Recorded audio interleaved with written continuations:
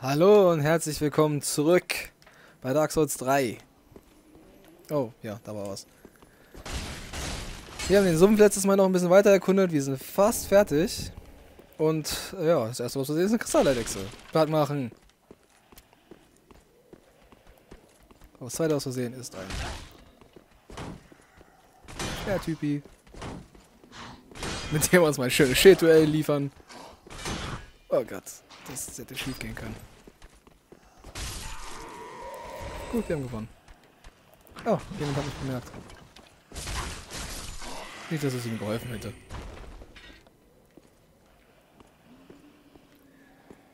Gehen wir erstmal hier hoch. Ja, Freund voraus, Spoiler.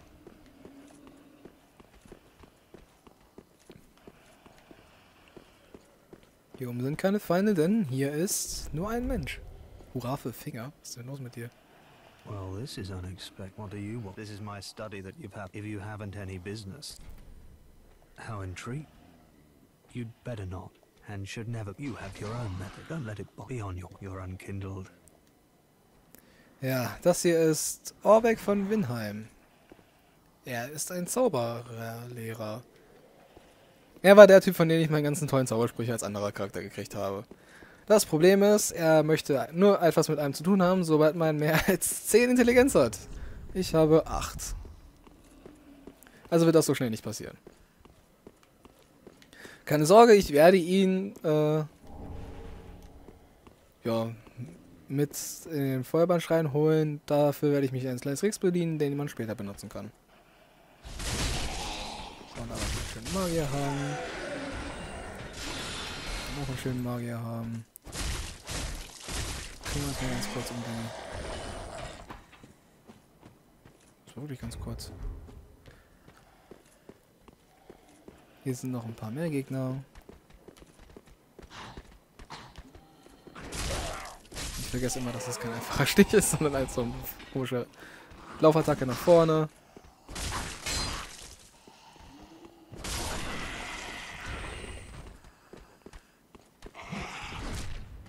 Und ich habe mich getroffen. Das ist interessant. Goodie. Die haben wir platt gemacht. Hier hinten haben wir vorhin eine Brücke ausgelassen. Da wollen wir natürlich auch noch einmal hin. Nicht, nicht dass ich irgendein Item vergesse. Nein, gut. Gut. Hier sehen wir als erstes gleich wieder schönen Zauberer. Da wir uns mit dem erstmal nicht beschäftigen wollen, stich mal dem schön in den Rücken. Kümmern uns darum, dass jetzt die kleinen Gegner hier nicht auf den Keks gehen. Oh, das ist zweimal lassen. Bandbomben. Nichts. Hier ist meines Wissens nichts. Du kannst ruhig angerannt kommen. Du stirbst eh schnell. Ich würde es vielleicht aufgefallen sein, aber der hat, äh, bevor er auf mich losgerannt ist, so einen kleinen Schrei. Einen kleinen Schrei. Äh, von sich gegeben. Huch. Du einfach runter. Und hat damit alle Gegner in der Umgebung alarmiert. Nicht, dass es uns jetzt gestört hätte. Hier ist der Stab des Ketzers. Das war ein, der Stab, der mich eine sehr lange Zeit über meinen ersten Spieldurchlauf äh, begleitet hat. Ich habe den auch sogar auf plus 10 äh, geupgradet, also mit dem war ich ganz zufrieden.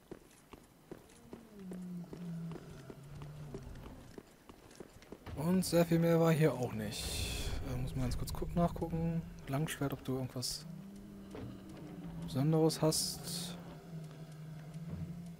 Wäre vielleicht ein bisschen mehr mein Stil. Sage ich jetzt einfach mal. Äh, wenn ich das Ding weiter aufrüsten würde. Aber da wir schon eine Waffe in Planung haben, die ich dann haben möchte. Boah, wollen wir das mal lassen, ne? Habe ich irgendwelche Items, die hilfreich sind? Ja, ja, ja. Vielleicht.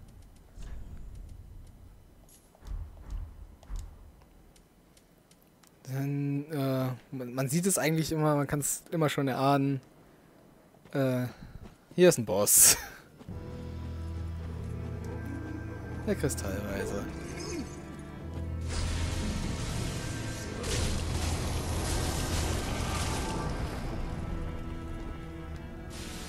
Und dass ich das verkohlte Harz, Harzbündel rausgeholt habe, merkte ich schon, bringt echt viel.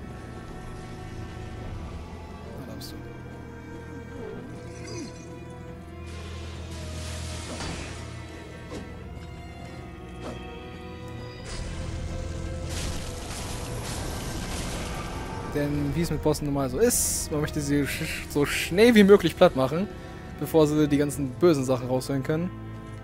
Ja. Und jetzt wird der Kristallweise gleich zeigen, was er groß kann. Denn jetzt taucht er kurz auf und verschwindet. Denn wenn er so weitermachen würde, wäre das ja langweilig. Und ganz ehrlich, das, das hätte ich dann auch nicht. Aber irgendwie musste er schwer werden. Deswegen beschwört er ein paar Freunde.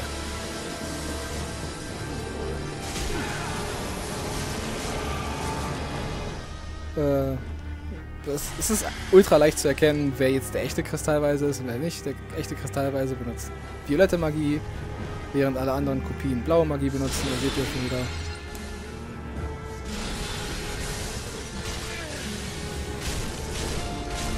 Der Kristallweise ist kein Boss. Besonders wenn ich verklorte Harzbündel habe, dann ja. Tada! ein Boss in mal eher so platt gemacht. Äh, das war auch der Grund, weswegen ich vorher keine Glut wiederhergestellt habe, denn das wäre echt Verschwendung gewesen. Äh, für so einen Boss jetzt auch noch Glut zu opfern, sage ich mal. Also, ja. Er ist tot. er kann einem echt auf, die Keks, auf den Keks gehen. Das weiß ich. Äh, ich bin auch ein paar Mal beim ersten Mal an ihm gestorben. Also das, das war dann schon echt schade, möchte ich fast sagen. Aber ja. Auch ich bin nicht perfekt, logischerweise. Aber damit haben wir den Kristallweisen platt gemacht. Soweit haben wir dann äh, auf diesem Weg wieder alles so weit gemacht, was ich haben wollte.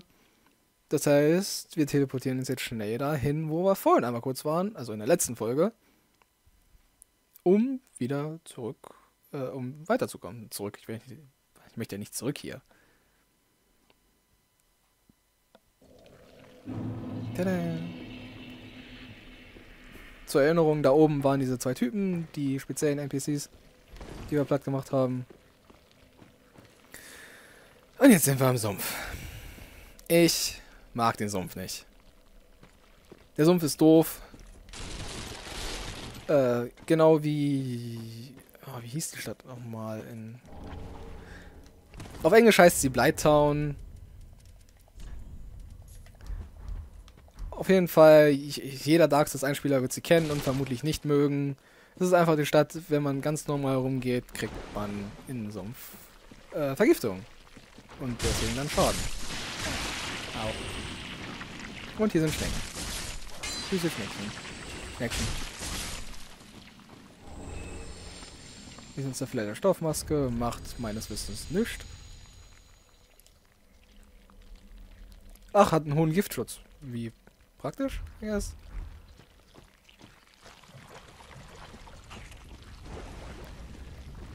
Äh, wir werden ab und zu jetzt mal vergiftet werden.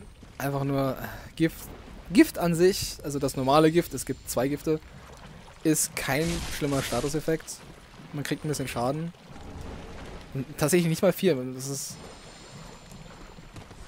auf Dauer echt vernachlässigbar. Also Schaden eben. Nicht viel, ja, kann man mit leben. Das ist ein Areal, das ich echt viel geübt habe, muss ich ganz ehrlich sagen. Ich verlaufe mich hier echt gerne. Äh, ich habe dieses Areal hoffentlich jetzt gut im Kopf, dass ich euch schnell durchführen kann. Weil ansonsten macht es echt keinen Spaß. Es passiert nicht viel, hier sind nicht so viele tolle Gegner allerdings viele Sachen, die man ver verpassen kann.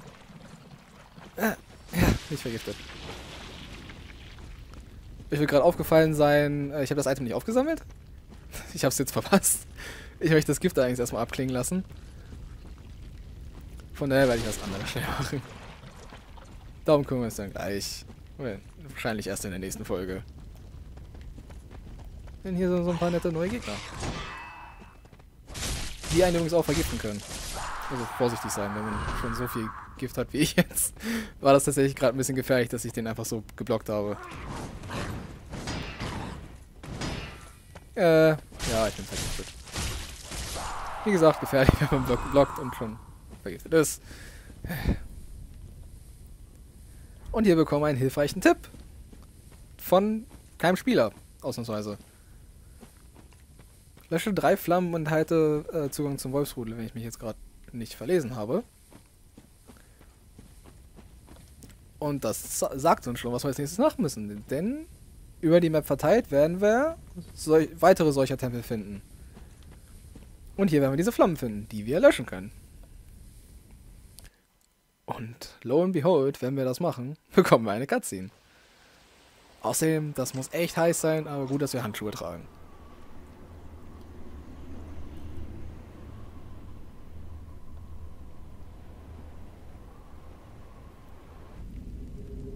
Und das Feuer geht aus.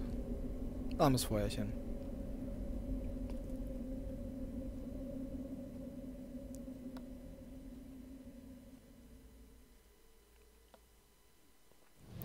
Allerdings geht das Feuer an. Und das ist die Tür, wo wir am Ende hinwollen. Das wird allerdings noch ein Weilchen dauern, bis wir da sind. Ja. Der Sumpf ist groß. Also, wirklich, wirklich groß. Und ich, an sich, äh, ich habe nicht viel Lust hier durchzugehen. Der Sumpf ist nicht toll. Es ist nicht mein, mein größtes Hassareal. Es gibt ein wesentlich schlimmeres. Was wesentlich später kommt. Hier übrigens erst sterbe. Deswegen wollte ich unbedingt nochmal zurückgehen, um es zu holen. Aber der Sumpf ist so... Äh, man wird vergiftet. Hier sind überall viele kleine Gegner. Hm. Absolut nicht meins. Das ist ein Schild, der ziemlich gut ist gegen Flüche, wenn ich es gerade richtig im Kopf habe. Gott, sei mal ein bisschen leise, Schnecke. Und hier werden wir einen neuen Gegner treffen. Nämlich den gefallenen Ritter, wenn ich es richtig im Kopf habe. Gefallene Ritter tragen eine schwarze Hand. Eine Waffe, die wir später auch noch kriegen können. Oh. Der hier ist ein besonderer Feiner, gefallener Ritter, wenn ich mich richtig erinnere. Ist ein bisschen stärker. Hey.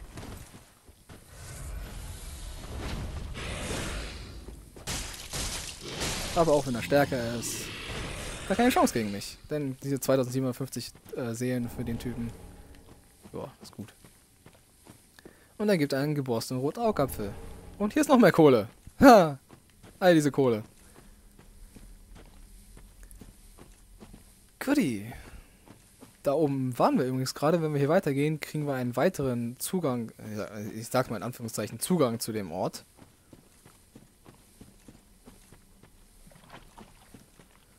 Da wir das jetzt nicht unbedingt brauchen, würde ich sagen, können wir zurückgehen.